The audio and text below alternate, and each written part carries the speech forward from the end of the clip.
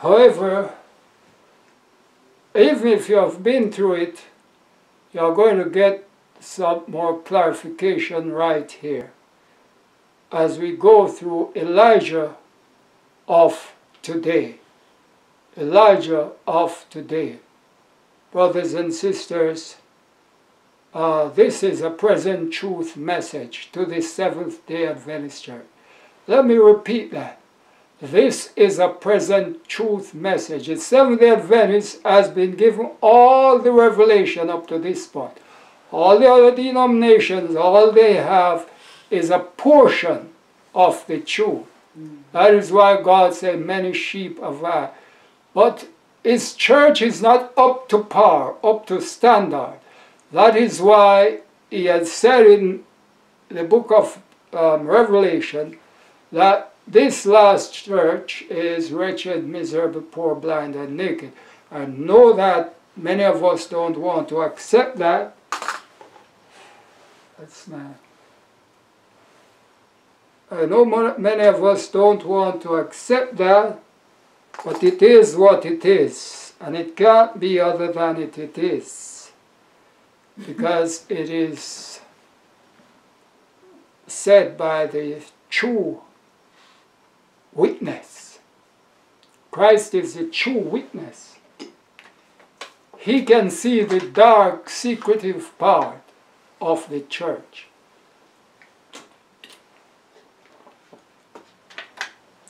And as although we can see the bright part of the church, we still must trust God. He said there are some darkness that we are supposed to get rid of. Yes, He loves His church. He dies for His church. We'll be doing a subject uh, prophecy in Hosea 1, 2, and 3, and you will see what the Lord has done to keep His church, to bring her back from promiscuous relationship and from going away from Him. We will see more profoundly in that um, revelation what Christ is doing regarding His church. But, um, but um, we just want to take it one, one at a time, one at a time. All right, anything on that? Involve you so that uh, anything on that. Elijah of today. All right, well, let's go through the the slides here and see what we can glean for, from it. As you're learning, I am learning. Right? Let's learn this together, or let's study this together. All right. So we'll look at Elijah. Who is the Elijah of today? When will he be on the scene? Where will he arrive? What day will he be around? And the message, the message that he will have, and the time. And if we are Elijahs of the latter days, then we must fit into this. And the first way to fit into this, we must understand this. All right, brothers and sisters?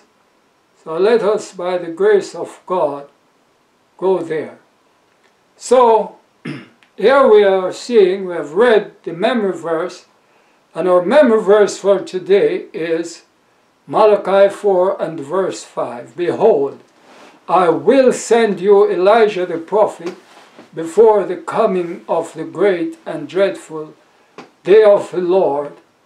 And that was read in a very clear manner uh, by my queen. And so you have gotten it both ways. So let's go. Quoting from Testimonies to Ministers, page 475. Prophecy must be fulfilled. The Lord says, Behold, I will send you Elijah the prophet before the coming of the great and dreadful day of the Lord. Somebody is to come in the spirit and power of Elijah. And when he appears, men may say, You are too earnest. You do not interpret the scriptures in the proper way. Let me tell you how to teach your message. Let me tell you how to teach your message. Yes. Brothers and sisters, let's break this down. the scripture was quoted by the prophet, and here's the breakdown. The breakdown is to be found in Testimonies to Ministers and Gospel Workers, page 475. The prophecy must be fulfilled. This prophecy, no less, uh, has been fulfilled within the church. They, that's where it starts. Remember, God's people always get it first. Um, and then it goes because that's how God works. We have no, He has no other hands, no other lips, no other voice, but His people. So, no matter what you believe, no matter what you may think, it is what it is, and it cannot be other than what it is. So prophecy must be fulfilled. The Lord says, Behold, I will send you Elijah. Now, here the breakdown or the comment, the inspired comment of this scripture. Remember, turn your Bible. Bibles are open. Open your Bible. um, it is your responsibility. All right? It's your honored responsibility to open your Bible and read for yourself. Behold, I will send you Elijah the prophet before the coming of the great and dreadful day of the Lord. Now, if somebody, watch this now, somebody is to come. That is after Ellen White. There is another prophet to the Seventh day Adventist Church. It doesn't matter if you don't care about the one that is here now or the one that has written the spirit of prophecy. It doesn't matter because the spirit of prophecy is a testimony of Christ. Right? Take it or leave it. The testimony of Jesus is the spirit of prophecy, Revelation 19.10. Alright? So here it is, somebody is to come in the spirit and power of Elijah. And when he appears, men may say, you are too earnest. You do not interpret the scriptures in the proper way. Let me tell you how to teach your message, brothers and sisters. Number one, it is in the future. Number two, he will be in the spirit and power of Elijah. Number three, when he appears, masculine gender, personal pronoun. When a man, when a man, when a prophet, this the, the, the, the woman, the prophetess is predicting, is prophesying that there will be a male within the Seventh day Adventist church with the spirit and power of Elijah. Ah, brothers and sisters, watch this, watch this. So, we're number three, he, masculine gender, gender, personal pronoun. Let's go on and see what else is there. Men may say, you are too earnest, you do not interpret. He is an interpreter of scriptures. Number four. Brothers and sisters, let's run through that. What is number one? somebody will come in the spirit, somebody will come, that's the future to Ellen White. It will be in the spirit and power of Elijah, number two. Three, he. Men may say, yeah, when he appears. When he appears. Mm. That's number three. He is referring to a man, no matter what is going on in society. You see why we have to hold on to the Word of God. Because all these deceptions are shooting up in the skies now. And uh, we not, if we are not holding on to the truth of God, we are going to be shut out uh, with their, with their um, spurious uh, philosophies. Brothers and sisters, we saw that number four is what? You do not interpret. He is an interpreter. Brothers and sisters, is a, there will be an interpreter. And the fifth one, let's see if number five is there. You will not interpret the scripture in the proper way. That means he will be, uh, he will be criticized. He will be condemned, maybe as Denounced. as, uh, denounced, as John the Baptist was, right? Yes. John the Baptist, Elijah was denounced. Uh, John the Baptist, who came in the spirit and power of Elijah, was denounced and beheaded. And so, this third, brothers and sisters, number three, means God, Holy Spirit, God the Holy Spirit, God the Father, and God the Son. Uh, so, whatever you believe, it is subjected to the Word of God. All right, brothers and sisters? Okay, now what we have here is to find number five. It says, Let me tell you how to teach your message. Number five, he has a message. He's an interpreter. He's a man, brothers and sisters, in the spirit and power of Elijah. And he comes after Ellen G. White. Brothers and sisters, don't ever miss this. Don't ever miss this because this forms the foundation of the most profound, the most critical truth to the Seventh day Adventist Church that all the other prophets will correspond, will affirm, will agree, will sign off. Brothers and sisters, it will be signed off. Go ahead. This is a comment here. Hmm. Sister White does not mean to say that she is that prophet Elijah, but plainly says a prophet must come, and it is said to be a prophet with the same spirit and power of Elijah. This prophet must come before Ezekiel 9 is fulfilled, for the prophecy of Ezekiel is similar to Elijah's experience with Israel in the days of Ahab. Remember King Ahab. Very good. Elijah's work in the days of Ahab, king of Israel, was to prove to Israel that they had apostatized, and after doing so, he took the priests or prophets and cut their heads off and threw them in the brook. Such was the spirit and power of Elijah. Oh, you catch that.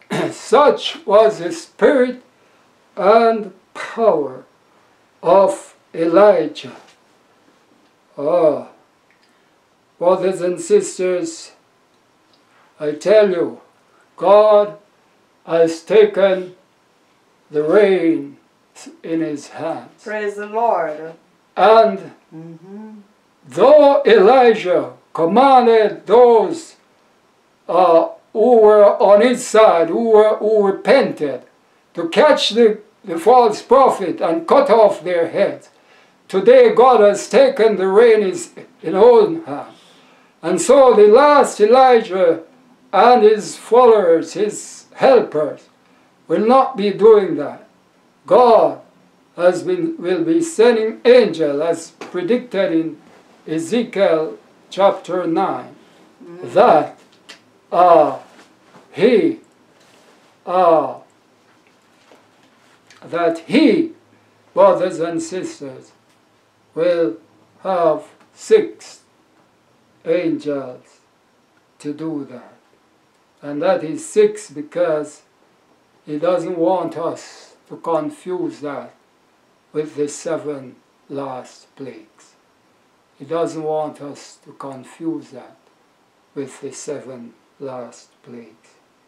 Ah, it is something that is local. It is for the Seventh day Adventist Church because that's where the Elijah and the Elijahs will be found, brothers and sisters. All right, so we got that? Get it. Got it. Ah, okay. so, we read something here that is quite quite interesting and quite quite uh, quite solemn. Something here that is quite solemn. Uh, now, there are quite a few statements that you will find explained by uninspired men in our leadership. Let me repeat that. There are many inspired statements that have been explained away, or there's something else, a spin is put on it. It has been spun to fool you. And this statement is one of them. All right? It is time to show you something. Now, it is called appendix. It is called appendix. You will go to the appendix. Let me see if I have it here. Maybe I don't have it. But I'll see. Maybe I have it. The appendix will be placed somewhere in the, in the explanation of Ellen White. All right? Just as she explained in Testimonies to Ministers 445, uh, therefore, what? Uh, okay, I'll see that later. The um,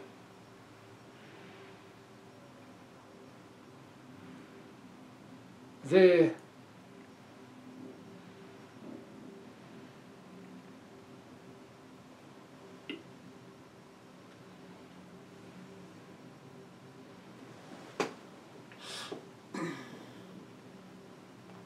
uh, the appendix note will be placed where you have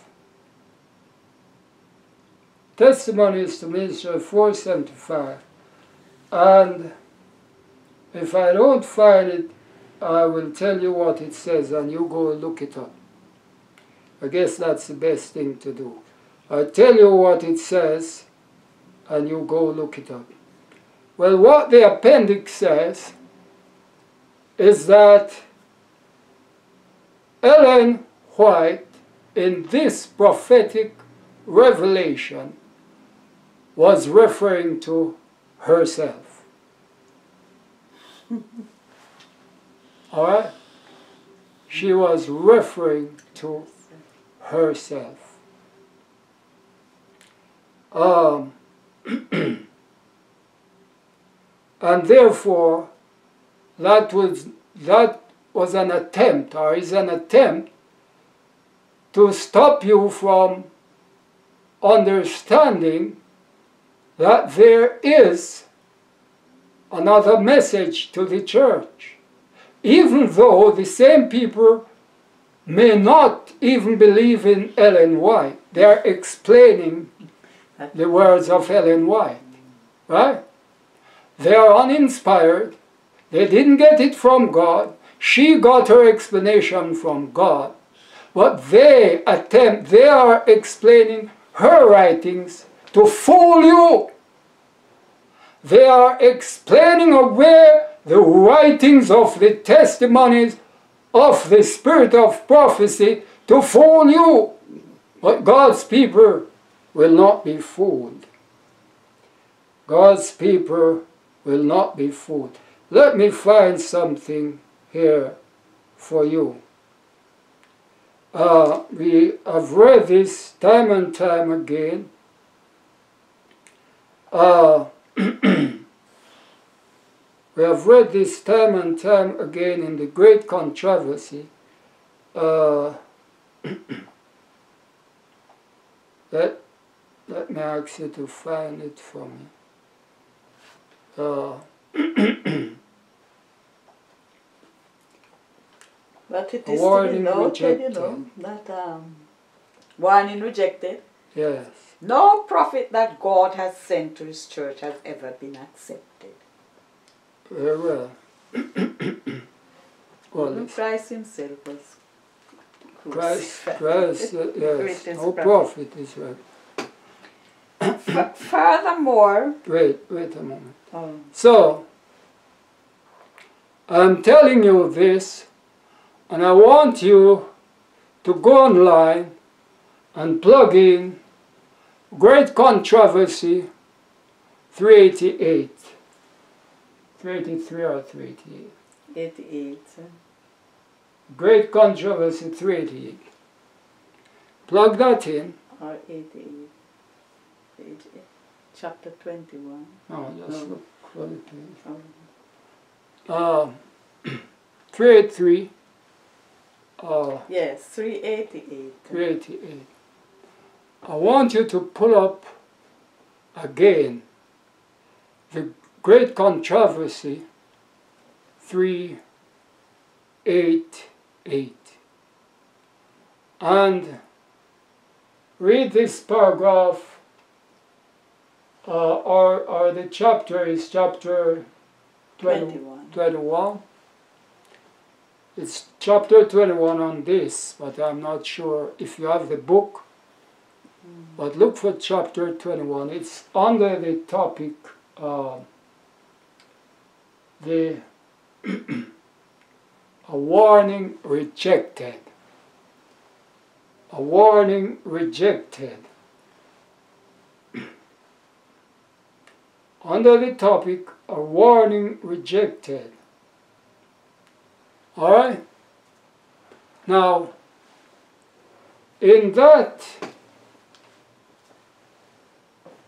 ordinary, well, the, the distributed great controversy, you will see the same attempt.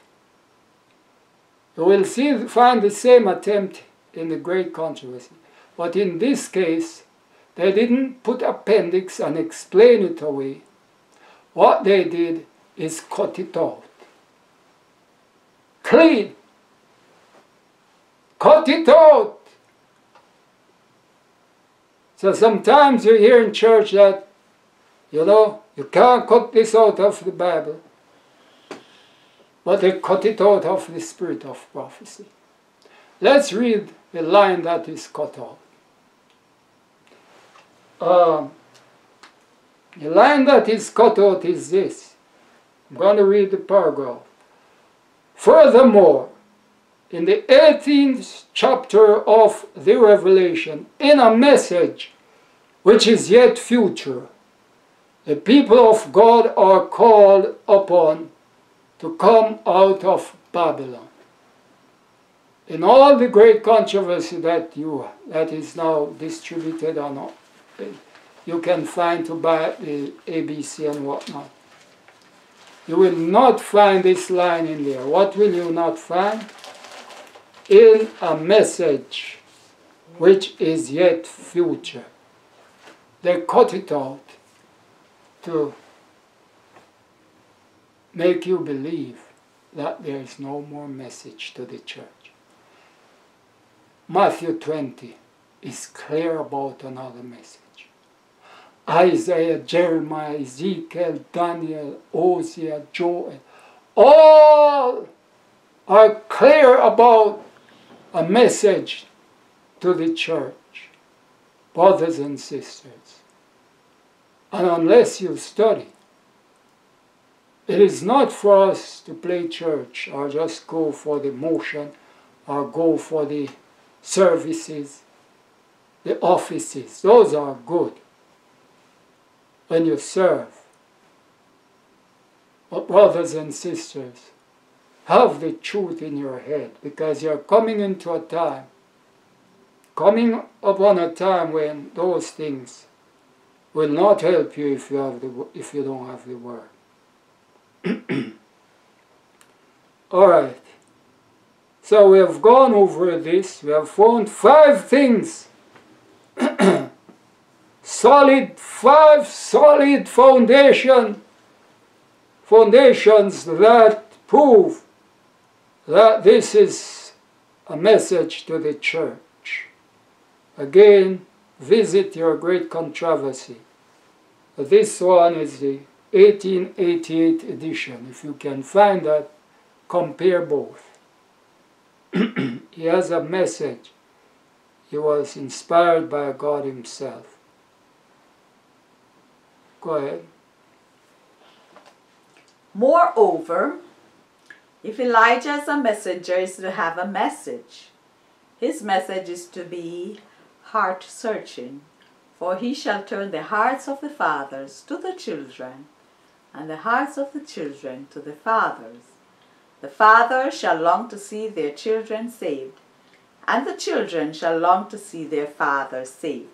And this revival and reformation shall in truth be crowned with the purification of the church, with the Lord's slaying the antitypical false prophets of today. Isaiah 66 and verse 16. All right. Important as it is however, to keep in mind the time in which the expected Elijah is before the coming of the great and dreadful day of the Lord. That's the time, before. Yet just this knowledge alone is insufficient to know when and what the great and dreadful day itself is, is all important. So, this Elijah, and remember, it must come. If you are one that believes that Christ will come the second time, if you are one who believes the second coming of Christ, you must believe that the Bible teaches, or you must understand, the Bible teaches that there will be a preparation, there will be a restoration of all things before the second coming. There will be a preparation for the King to come in to this earth again. And that is talking about what we call a kingdom church. God will bring his church. He will remove the tares. There are those who are running away now with this and that message or messages and believe that this is how God says He will do the separation.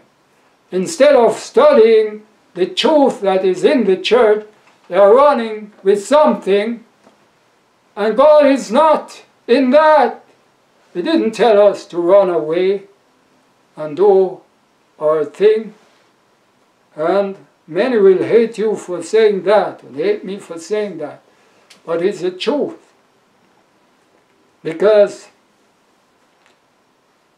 if you don't understand, if you don't understand that God will separate the tares, Take them away. They're charged. Brothers and sisters, charged with defiling the sanctuary of God, even though God will allow them to grow and bear, grow and ripen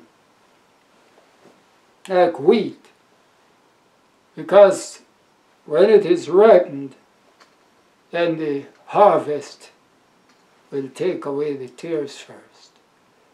If you don't understand that harvest we have done, uh, we have done the harvest subject or prophecy, and we again encourage you to take a look at that. So, here we have, uh, we must understand the great and dreadful day of the Lord.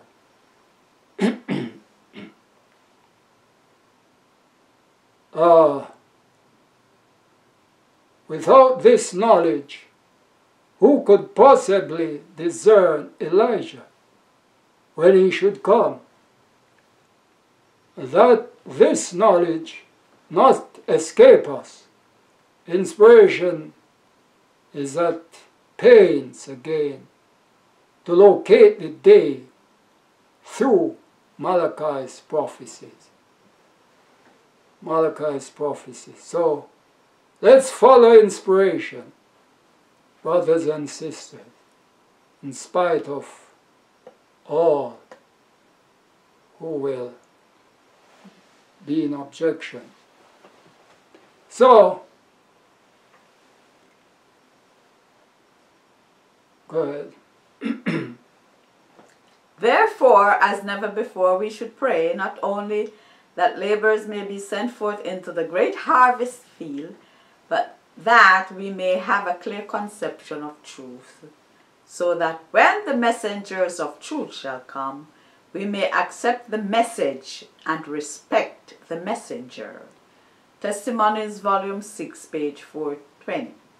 No other course dare anyone take in this matter. The crown of life demands our most vigilant guarding of it, because a foul enemy seeks to wrest it from our grasp. Brothers and sisters, this is quite profound. All over the spirit of prophecy, it is clear that there is a message, there's another revelation, a fundamental to our, our doctrines as Seventh day Adventist. It is clear and it's all over because, but some of us are unable to see that because we are running with a zeal not according to knowledge. Yes, brothers and sisters, we are running with a zeal not according to knowledge.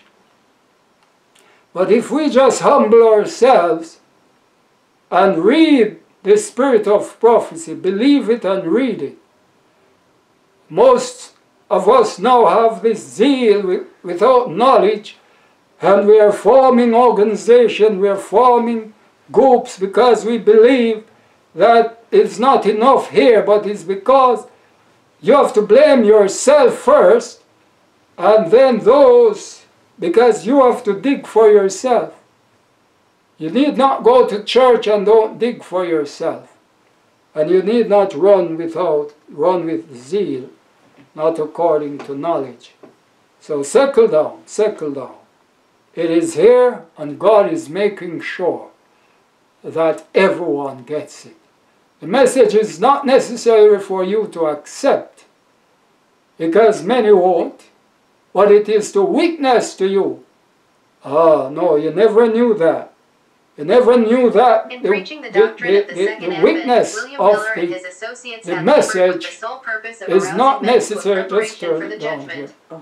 The They witness had come to of the message is not necessarily to outsiders. The message is to witness to Seventh day Adventists. And the message that comes within the walls of the church is to witness to us. Brothers and sisters, we don't have to accept. No, it's our free will. Yes, God would uh, want us to accept the truth, but hey, He's given us his, that free will, and we can choose to reject Him if we so choose. Yes, we can choose to reject Him. We can choose to curse God. We can choose to do all we care to do with that freedom of choice. He has not taken it back, and He will not take, take back our freedom of choice, brothers and sisters. So listen up. There is a message within the Seventh day Adventist that is crucial to us. That is what will give us oil in the vessels, brothers and sisters. That is what is referred to as the extra oil. Remember, all the virgins possess oil in the lamps, but there's a vessel somewhere that five knew that it was there to refill when the light would have run out, brothers and sisters. These are practical revelations. These are not just gimmicks. These are not, not just uh, information by the way. This is a, a, life and death matter, and it is, a, it is a subject that we must understand. Read the testimonies. Get them. They are available. They're not read in the church. No. But it's your responsibility to understand that it is the library of the Seventh-day Adventist Church because they are all testimonies to the church, testimonies to ministers and gospel workers, which you are, brothers and sisters, and counsels on diet and food, and counsels to teachers and parents, and an um, Adventist home. All of those form the library to the Seventh day Adventist, wherever you are. Don't get bogged down on the church title, on church business, and leave your spirituality uh, to the winds or to the wind. Brothers and sisters, it is crucial. It is crucial. And on this point, I will tell you that uh, there was somebody, somebody way back when, in this, is it the 70s or 30s, uh, back then, he was asking for the message. Where is the message that was rejected in 1888 by the General Conference that was to return? Because God gives chances. He returned the message. Where is it? A superintendent or one of those leaders were asking for it. I don't know if he got the answer. I don't know if that was, was addressed or anybody paid any attention or paid any mind, as we would say. But brothers and sisters, uh, it is what it is. There's a message, and we must inquire about it, and we must dig into it. Um, so, there's those who are to prepare the way for the second coming of Christ are represented by faithful Elijah those who are to prepare the way for the second coming of Christ are represented by faithful Elijah. And you think that is a walkover? Ah, as John came in the spirit of Elijah to prepare the way for Christ's first advent, Testimonies, Volume 3, page 62. Ah, brothers and sisters, that's where it is. So let's come to the, the question of what is the great and dreadful day? What is it? What is that great and dreadful day that the Lord is talking about here? Well, we are going to see it in context. First of all, it is great. Great is attached to it because great will be those who will be sealed. Judgment begins in the house of God. And the first set of people that will be sealed will be from those who have the greatest light or the most Bible truth for this time. So that's the Seventh day Adventist Church. God will seal a few.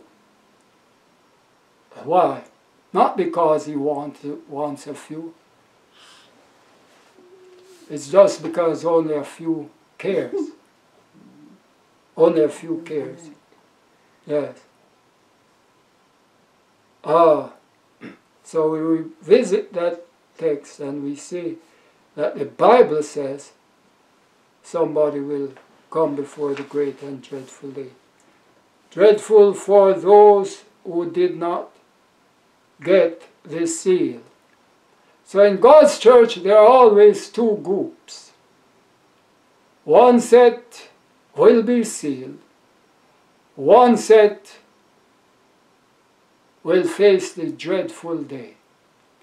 One set will go out in darkness without oil to replenish the lamps, and one set will just reach for the extra oil and replenish the lamp. One set, brothers and sisters, will be like goats, and one set will be like sheep. Ah, let's examine what is this great and dreadful day. Blow ye the trumpet, go ahead. Blow ye the trumpet in Zion, and sound an alarm in my holy mountain. Let all the inhabitants of the land tremble, for the day of the Lord cometh, for it is nigh at hand. A day of darkness and of gloominess, a day of clouds and of thick darkness, as the morning spread upon the mountains. A great people and a strong, there had not been ever the like, neither shall be any more after it even to the years of many generations. A fire devoureth before them, and behind them a flame burneth. The land is as the garden of Eden before them, and behind them a desolate wilderness, yea, and nothing shall escape them. That's Joel chapter 2. Brothers and sisters, breaking down the meaning and the definition of this great and dreadful day. What this, what Joel is telling us, that in that day God will have an army of saints who will be doing the final gospel work. Brothers and sisters, the great and dreadful day is not the judgment day as we refer to it when Christ would have burst the clouds. No, no, no. The great and dreadful day is before, is during the time when people can be saved. But only those who will have the seal of the living God will be able to say this is a great day. Those who do not in the church of God possess the seal of the living God will experience a dreadful day. Mm. It's a period of time. It starts in the church with God's people, with the truth, and then it extends to the world. That is why the judgment begins in the church first and then in the world. That is why probation closed down in the church first, mm. and then probation closed for the world in general. Brothers and sisters, God has put this in phases, and you must understand that. Don't take it from people, take it from the Word of God. Here is the army that it will be a great day for them, and Joel is telling us, brothers and sisters, that is a day has described it in his account of this day as a day of darkness and gloominess, a day of clouds, thick darkness, as the morning spread upon the mountain, a great people and strong. There has not been ever the like, neither shall be any more after it. Brothers and sisters, it says, A fire devoureth before them, and behind them a flame burneth. Let's continue into this. Let's you see. go on. Let- Go ahead. So you say the great and dreadful day is not the judgment. No, it's, it, it- it's involved a judgment, but it's a period of time. This, this day starts and continues. Sure. It's not one moment when Christ is coming um, as that day. We know it will come at midnight, but many are looking at that as the, or that's the explanation, that it is when everything is over, when the plagues have fallen, and Christ would come in the clouds of heaven. No, it's before probation closes. for the world. But you could look at it as um, the door of the ark shut or probation closes for the church, and there is no more, no, no more um, grace period is up for the church first. Yes, except you will have these people who are sealed.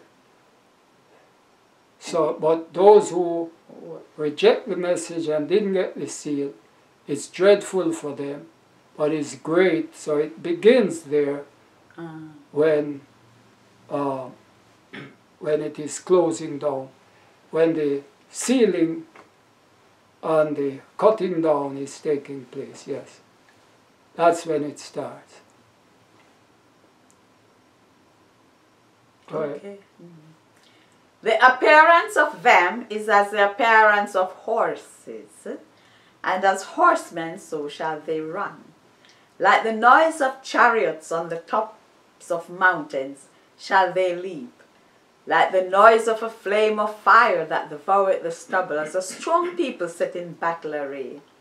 Before their faces the people shall be much pained, all faces shall gather blackness. They shall run like mighty men, they shall climb the wall like men of war, and they shall break every one of his ways. They shall march every one on his ways, and they shall not break their ranks.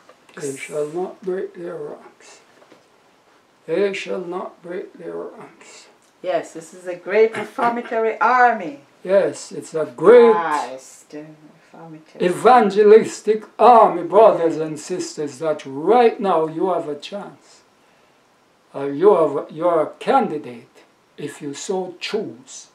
Remember, we are uh, emphasizing that because from every crevice and corner, you will be told that this is false. That God is just going to come and take up his people. No, brothers. God's church, the world will know it. The government of the world would recognize the kingdom church of God. Brothers and sisters, yes. They will recognize the kingdom church of God. And that is why we, with the most light, have the greatest responsibility. And, brothers and sisters, when you have uh, more to whom more is given, more is required. This situation that should be taught among our brethren in the church in terms of getting our houses in order, getting our, ourselves in order, put away sins out of our lives, and ready for God's sealing process, which is going on now. It is taking place.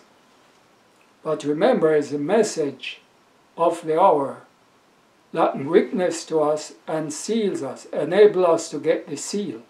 Because when the angels take the record, they will say, okay, Dick, Tom, and Harry accept the seal. Mary, Jane, and Sue didn't, or vice versa. And so, that is how we get the seal, brothers and sisters, if we accept the message. All right, of our time. I think we read this. Yes. That's Joel 2.28. Uh, we continue some more. Neither shall one thrust another, they shall walk every one in his path, and when they fall upon the sword, they shall not be wounded. They shall run to and fro in the city, they shall run upon the wall, they shall climb up upon the houses, they shall enter in at the windows like a thief. The earth shall quake before them, the heavens shall tremble, the sun and the moon shall be dark, and the stars withdraw their shining. Right.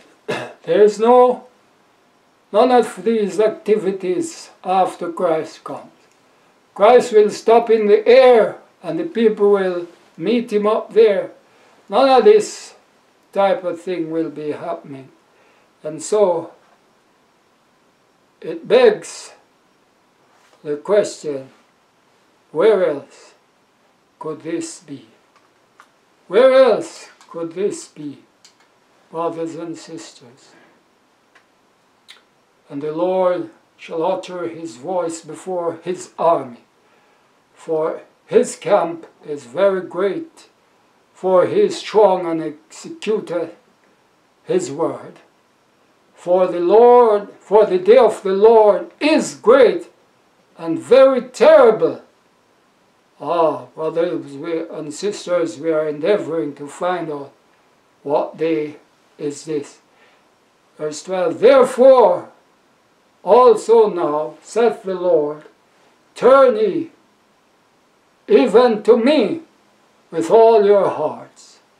Brothers and sisters, is this not saying that people will be saved or have the chance to be saved during this day? Yes, brothers and sisters, when this great and dreadful day starts, people will have a chance. Uh, that's why he's telling us, turn unto him with fasting and weeping and mourning. Let's do that now in his church. The great and dreadful day of the Lord. Malachi 4 5, a day of slaughter.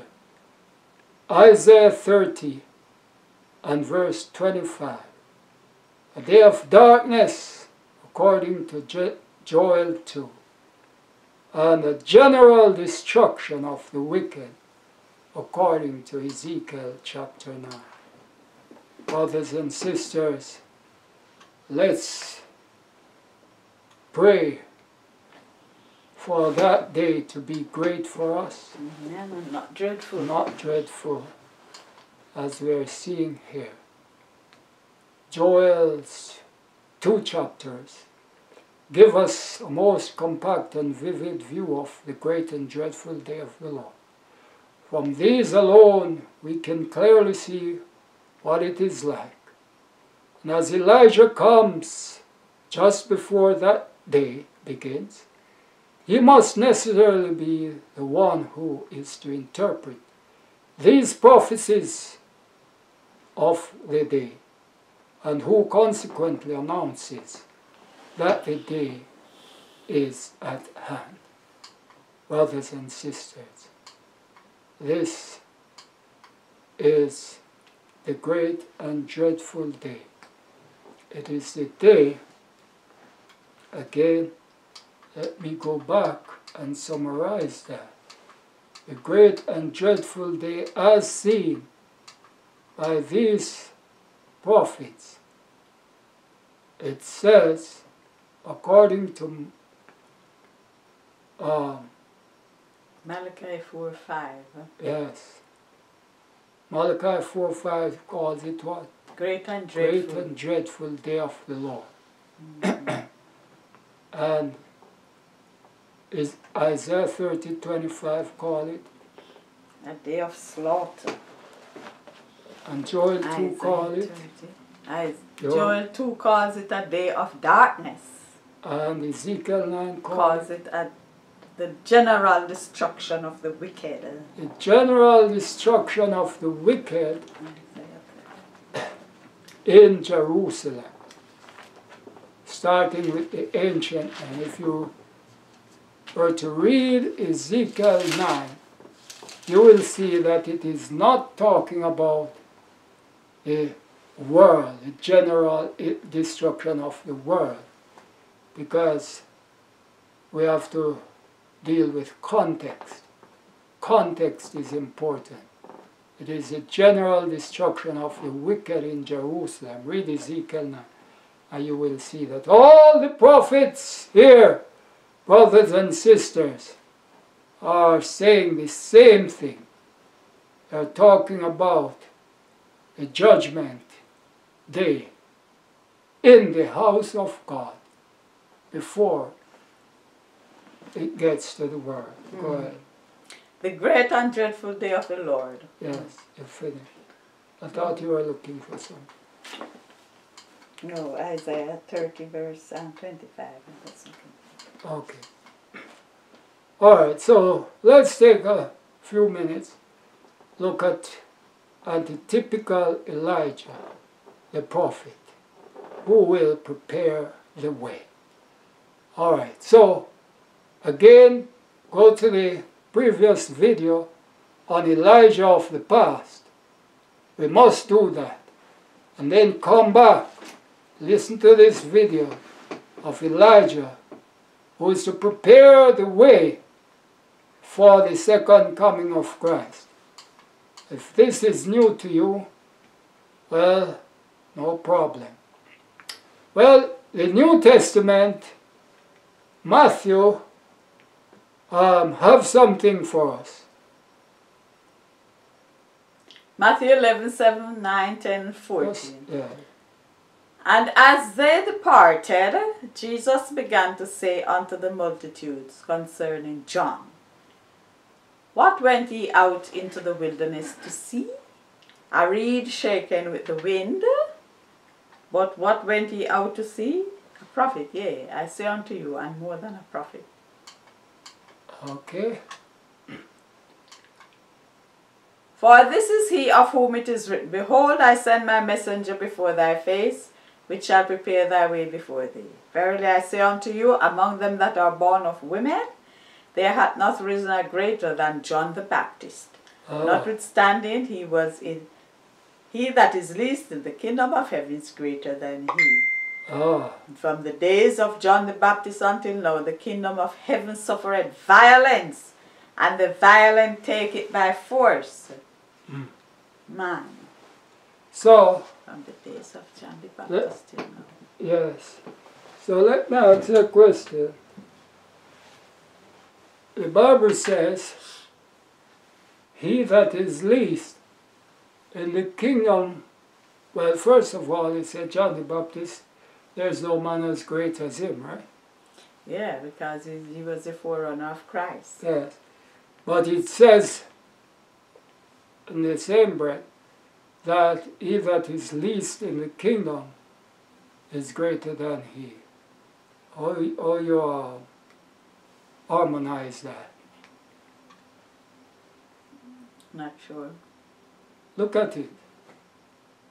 Read it again. He that is